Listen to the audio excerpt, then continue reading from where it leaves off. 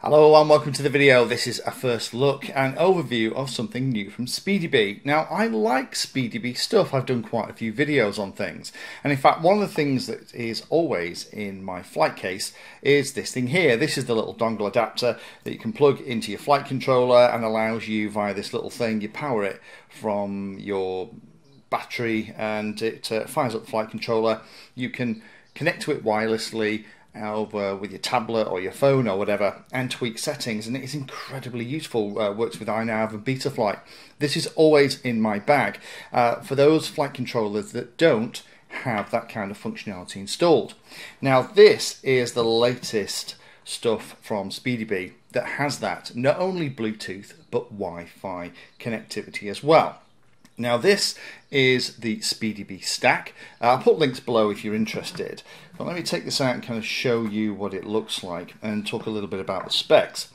Now this is uh, a flight controller and a 4-in-1 ESC. They are available separately so you can buy them uh, each individual piece but the design is a very modern flight controller with pads rather than through holes for uh, low profile connection, USB, USB-C even port, and all of the little pads on the bottom are beautifully screen printed. So it's very, very easy to see what's going on.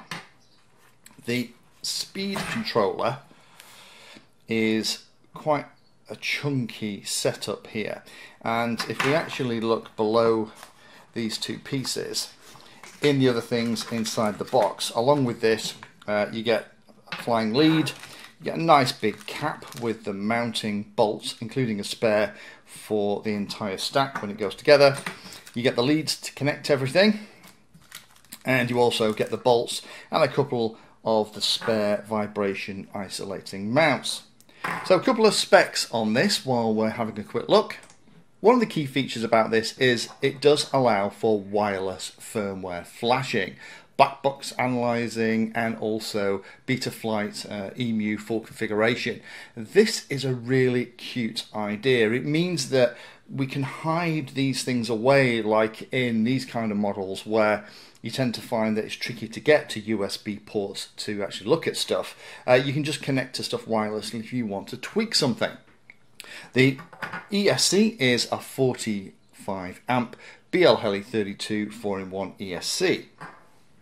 Again, as I mentioned, this has both Wi-Fi and Bluetooth on it, so you can decide which you would use. Uh, Bluetooth is going to be better when you have the phone or tablet very close to the device. The Bluetooth range isn't massive. Uh, Wi-Fi range is a little bit more, but there is the nice cutout as well, uh, designed with 22mm cutouts for FPV camera support. So if you are really tight for space, in a really small model, that is all there for you to make sure that you can get a really compact build.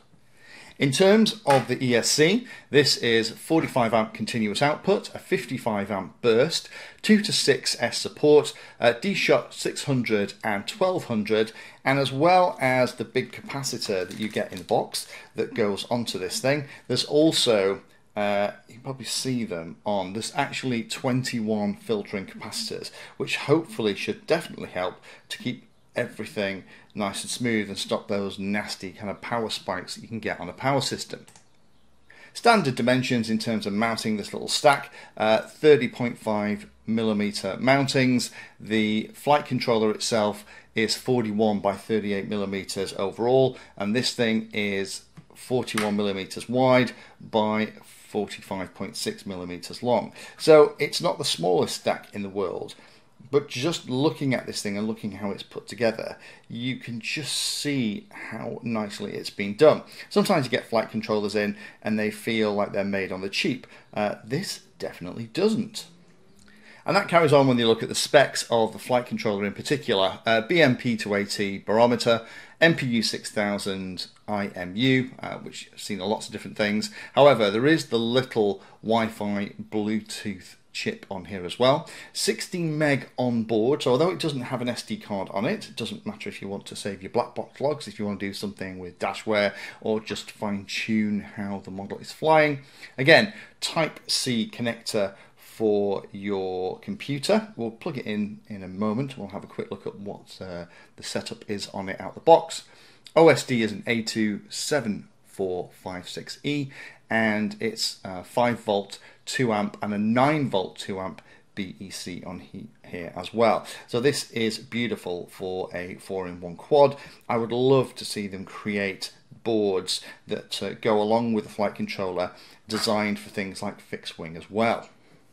Now normally to show you how everything's set up on one of these flight controllers, I'd plug it into Betaflight and you can of course do that via the USB adapter. However, that's kind of missing the point of something like SpeedyBee because in addition to everything else on this flight controller, as I've already said, we've got Wi-Fi and Bluetooth. So with the SpeedyBee app on your phone or tablet, you can connect to it and you can access the settings to change how everything works. Now this on its own isn't particularly new, it was on the original version of this F7 and it's been on other SpeedyBee products as well, including that adapter that I showed at the beginning.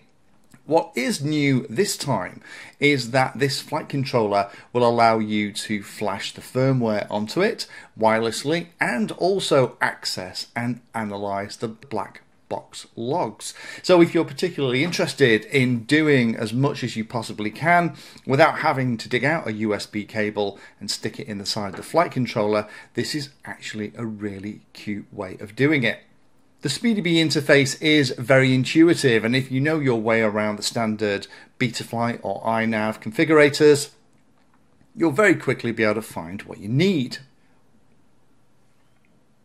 I have been impressed in the past with the stuff that SpeedyBee has done. They're a sister company to people like Runcam, and I like Runcam too.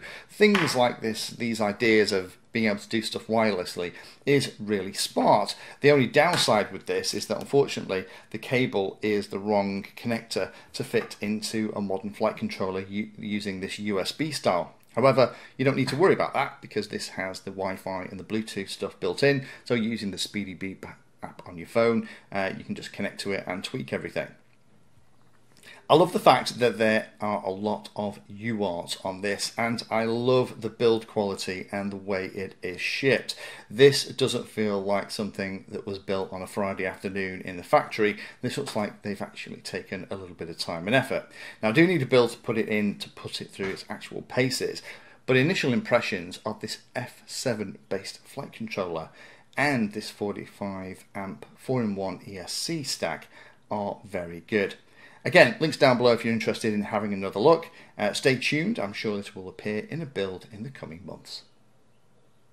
Thank you for spending your time today watching that video. You can find me in all the usual places on social media and if you're trying to learn about a subject then check out the playlist. All of my videos are organised into easy to follow playlists that if you're trying to learn a topic will take you from the basics right the way through to some pretty advanced stuff.